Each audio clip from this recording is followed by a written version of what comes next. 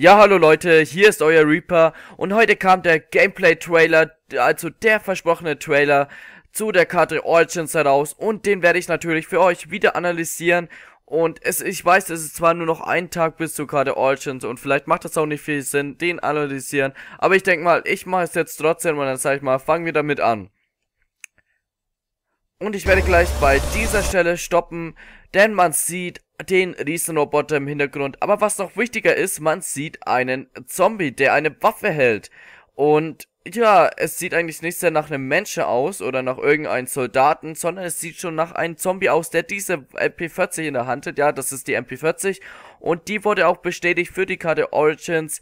Und was fällt noch auf dem Bild auf? Man sieht so rote Strahlen, also so rote Schallwellen. Ähm, ja, was könnte das sein? Man hat im anderen Trailer, als sie diesen Apokalypse-Trailer so ein ähm, blaues Licht mit so blauen Schallwellen gesehen. Vielleicht wandelt sich dieses im, während des Easter Eggs um. Es könnte aber auch das Zombie-Blut sein, welche Wirkung noch nicht bekannt ist. Aber wir werden es sehen, wenn morgen die Karte draußen ist. Dann würde ich sagen, fangen wir gleich weiter an und gucken, was wird als nächstes kommen im Trailer. Ja, ich werde gleich mal hier wieder stoppen, denn man sieht hier die Karte Origins, beziehungsweise von oben hat man sie gesehen. Und was sieht man noch? Man sieht im Hintergrund hinten links dieses, was ich vorhin angesprochen habe, dieses blau-lilane leuchtende äh, Teil, das so Schallwellen aussendet. Und ich denke mal, zu 100% wird dieses zum Egg dazugehören. Und dann sage ich mal, gehen wir zum nächsten Bild über. Und auf diesem Bild seht ihr nun ja, was seht ihr dort? Ihr seht die äh, vier Charaktere, beziehungsweise denke mal, dass man die vier Charaktere hier sieht. Und man sieht hinten links in den Schränken so blaue Steine. Und ich denke mal, das sind Teile von diesen neuen Meteoriten, also von diesem blauen Meteorit, was man auch schon im Apocalypse Map Pack Trailer gesehen hat. Und ich weiß nicht, ob man diese nehmen kann oder bis es Easter Egg benötigt, aber auf jeden Fall gehören diese Steine zum Element 115 beziehungsweise zu diesem Meteoriten dazu. Und dann kommen wir gleich mal zum nächsten Stopp. Hier sieht man Takeo, der die Mauser CXS in der Hand hält. Hinter uns sieht man eine Person. Ich weiß jetzt nicht welche. Auf jeden Fall sieht man dort die Galil. Und rechts oben sieht man noch ein Schild, das Workshop heißt. Und ich weiß nicht, hier in diesem Raum wird man wahrscheinlich wieder viele Teile finden, weil es gibt wahrscheinlich wieder hier Sachen zum Zusammenbauen, weil man weiß ja auch schon, diese vier Zepter, zu denen ich später noch kommen werde, muss man auch zusammenbauen. Und dann sage ich mal, kommen wir gleich mal zur nächsten Stelle im Video. Und an dieser Stelle seht ihr nun, ja, im Hintergrund sieht man es leicht, man sieht dieses Portal oder dieses komische hm, Ruinenteil, was auch immer was das ist. Auf jeden Fall sieht man noch auf den Schildern einmal diesen Generator 4 und einmal diesen Generator 5 ist oder 6 ist das. Auf jeden Fall für diese muss man ja anschalten, auch für einen Erfolg. Und auf jeden Fall gibt es da mehrere davon und ich glaube, diese anzuschalten wird auch nicht einfach. Vielleicht doch, aber ich bin mir da nicht sicher, sonst wird ja nicht einfach so einen Erfolg dafür geben. Und hier auf diesem Bild seht ihr Takeo, der die Galil in der Hand hält. Also ist es bestätigt, es gibt die Galil auf dieser Karte. Hier auf dem Bild seht ihr Dr. Edward Richtofen mit der Maus der CXS in der Hand und im hinten, im Hintergrund sieht man wieder auf diesem Haus dieses komische Gerät oder diesen komischen Orb, was auch immer das ist, werden wir erfahren auf der Karte Origins. Ich bin schon ziemlich gespannt, weil man benötigt dieses bestimmt fürs Easter Egg und ja, dann kommen wir gleich mal zum nächsten. Hier ist der Russe Nikolai Belinsky mit der Schrotflinte. Ich weiß jetzt nicht, wie sie heißt, aber auf jeden Fall ist das die Schrotflinte aus dem Mehrspieler, die äh, vier Schuss hintereinander schießt und glaube ich 16 Schuss oder so im Magazin hat. Auf jeden Fall ist es diese vier Schuss Schrotflinte. Das heißt, diese Waffe wird es auch auf Origins zu spielen geben.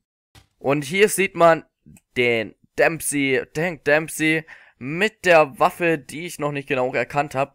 Einige meinten, das wäre die Hamre. Ich glaube aber eher, dass es da vielleicht um die Scar handelt. Schreibt doch mal in die Kommentare, was oder welche Waffe das ist. Und vielleicht wisst ihr es ja. Und nun kommen wir zu dem Panzer.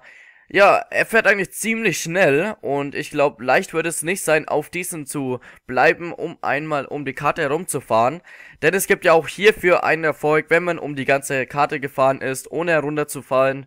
Und ja, mal schauen, wie es wird. Ich hoffe mal, es wird nicht so ein Panzer, beziehungsweise sowas wie auf Transit, der auf den mal die ganze Zeit bleiben muss oder dass halt man nur auf den um die Karte herumkommt.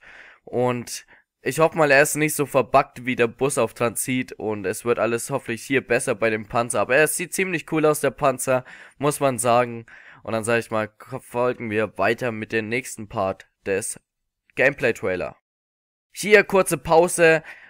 Man sieht jetzt nur die drei Charaktere, also einmal links Edward Richtofen, dann in der Mitte ist das Nikolai und rechts ist das, glaube ich, Takeo kann es nicht genau erkennen. Auf jeden Fall, was ich eigentlich hier auf dem Bild genauer sagen will, ist, dass man hinten unter dem Fuß, also links vom Fuß von Nikolai, eine Waffe sieht, also eine Kreidezeichnung von einer Waffe. Ich konnte jetzt nicht genau erkennen, welche Waffe es ist. Wir kommen gleich nochmal dazu, man sieht gleich nochmal ein Bild von der Waffe. Und hier gleich mal wieder ein anderer Aufruf an euch. Welche Waffe ist das? Welche Waffe, um welche Waffe könnte es sich jetzt da handeln? Schreibt so auch mal in die Kommentare. Was sieht man noch auf dem Bild? Man sieht oben den Strahl von der Kiste. Also zumindest sieht es so aus, dass dort die Kiste ist, der blaue Strahl. Und ja, das war's auch zu dem Bild. Hier seht ihr es nochmal. Hier hat Nikolai im Hintergrund rechts die Waffe, die ich nicht erkennen konnte, an der Wand stehen. Und ja, wie gesagt, schreibt mal in die Kommentare. Vielleicht wisst ihr, welche Waffe es ist. Es sieht ein bisschen wie die MP40 aus. Die wurde ja auch bestätigt. Oder die STG. Und ja, schreibt es doch mal in die Kommentare, Kommentare, was es für eine Waffe sich hierbei handelt. Und dann kommen wir gleich mal weiter mit dem Gameplay-Trailer.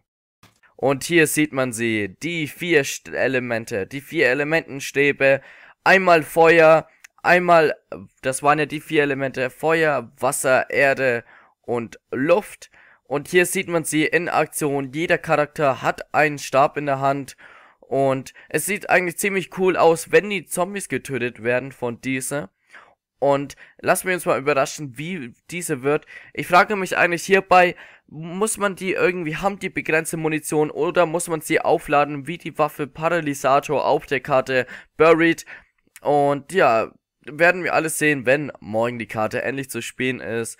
Und dann folgen wir weiter mit dem Video. Und hier sieht man ihn, den Zombie-Roboter.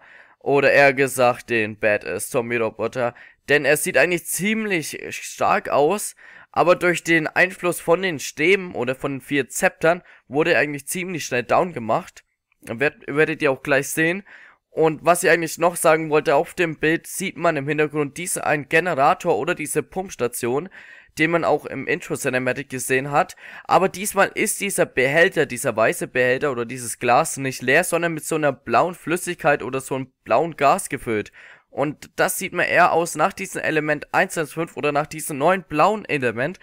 Und ja, benötigt man bestimmt auch für das Easter Egg.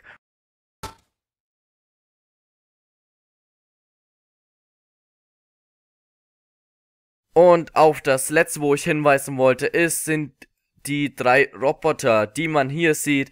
Und man hat sie auch aus dem Bild von Facebook gesehen, wo ja Treyarch diesen Trailer angekündigt hat. Und ja, das war's eigentlich zu meiner Analyse von diesem Trailer. Und ich freue mich schon tierisch auf die Karte morgen, wie sie sein wird. Und ich kann es einfach nur noch nicht mehr erwarten, denn die Karte sieht ziemlich geil aus. Und ich denke mal, sie wird Menge, Menge, Menge Spielzeit mit sich bringen, die ich damit auch auf dieser Karte verbringen werde. Noch kurz dazu, was ich alles hochladen werde. Ähm, ja, ich werde mal wahrscheinlich alles hochladen, außer irgendwelche Gameplays von der Karte, da ich, wie gesagt, noch keine Aufnahmegerät habe und ich nur Sachen aus dem Kinomodus hochladen kann, dann wieder runterladen kann und dann wieder zusammenschneiden, kommentieren kann. Also es wird eine Menge Arbeit für mich, aber ich werde es alles machen und ich freue mich schon, wie gesagt, tierisch auf die Karte. Und ich denke mal, das war's mit meinem Video. Ich hoffe, euch hat es gefallen und vielen Dank fürs Zuschauen. Bis zum nächsten Mal, euer Reaper.